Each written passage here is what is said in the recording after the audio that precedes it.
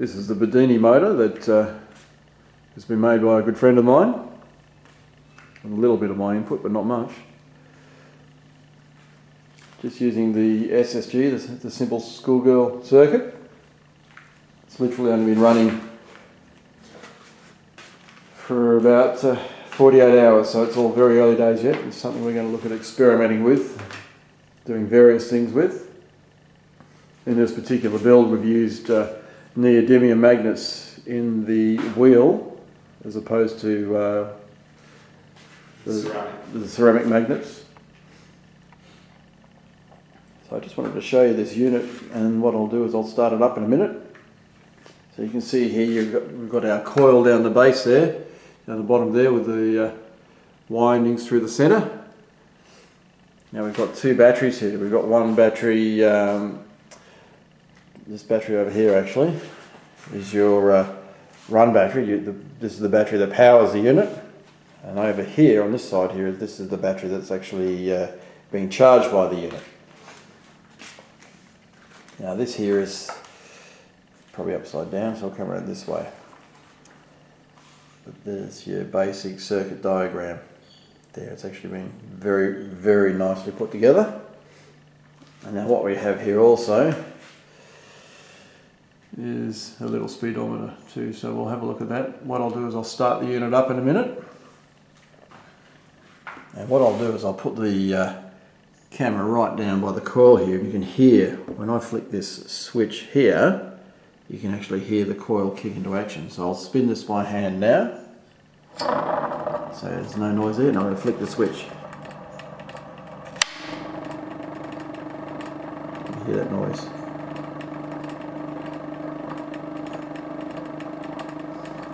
now that is where is it? that is gaining speed very slowly.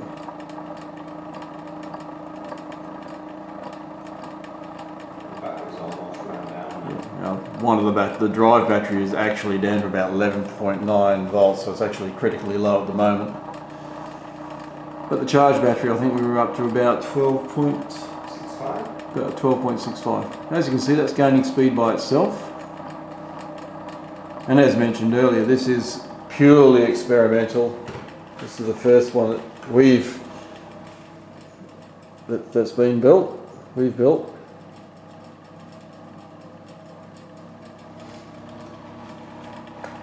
You see it's starting to get faster and faster now.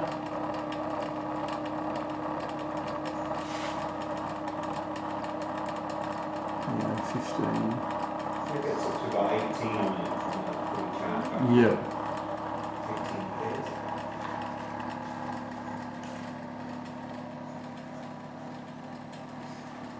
So this is the unit in action. I'm just getting back a bit so you can see the whole thing in the frame.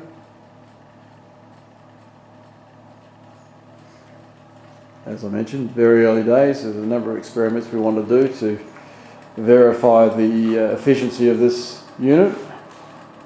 And we're also very keen to see what it will actually do to uh, sulfated batteries as well.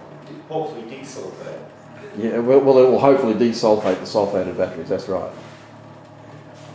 I know what I meant.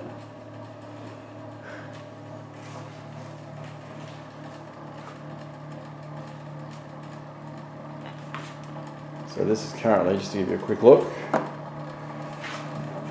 This on point. Yep, that'll be great.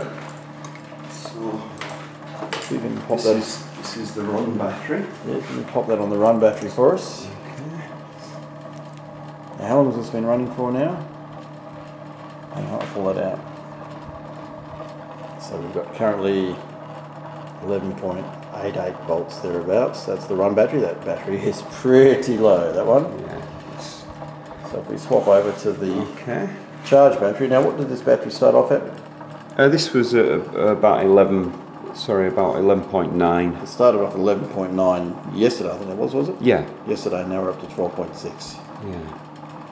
And bearing in mind the coil is only got 336 turns and it should have 900. Okay. So I've run out of magnet wire on the first one, but um, but yeah, it's it's for a first build, it's good, Mm. but we've learned a lot and we can build it a lot better next time. Absolutely. More efficient, faster charging, Yep.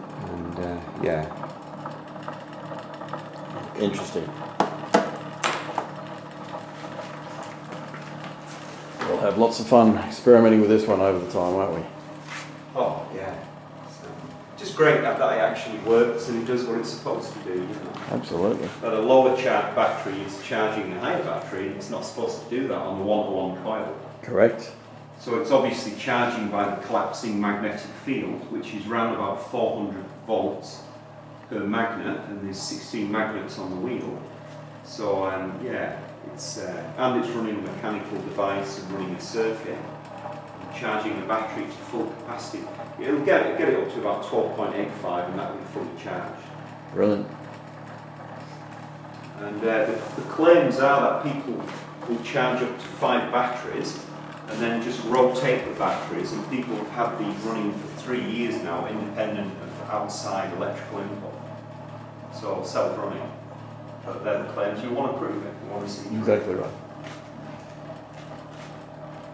Anyway, there you go. Our first Energizer. Bedini, Bedini SSG Energizer.